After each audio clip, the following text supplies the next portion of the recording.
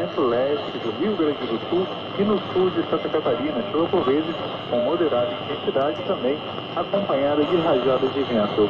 Dia de sol e tempo firme com muito calor à tarde no norte do Rio de Janeiro, no Espírito Santo, no norte de Minas, no centro-oeste da Bahia e em Roraima. Já na área entre o litoral do Ceará e do Amapá, cara de chuva acontece em qualquer hora, até com moderada intensidade. Em todas as outras áreas do país, a previsão para este último dia de ano é de um dia de tempo aberto, muito sol, muito calor e pancadas rápidas de chuva que acontecem principalmente entre o meio da tarde e o início da noite. Marcelo Pinheiro, da Clima Tempo para a CBN.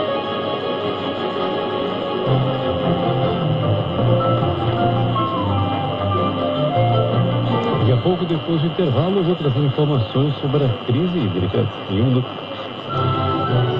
CBN Madrugada.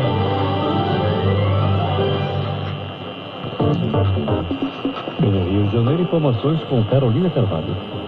A Corregedoria Interna da Polícia Militar determinou a prisão disciplinar dos oito policiais militares da UPP Coroa Falé Fogueteiro, suspeitos de torturar quatro jovens na semana passada. Segundo a polícia, a prisão foi determinada por necessidade de aprofundar o inquérito que já foi instaurado. A Polícia Judiciária Militar, responsável pela investigação, informou que possui imagens de câmeras de viaturas que apontam fortes indícios de que houve crime militar.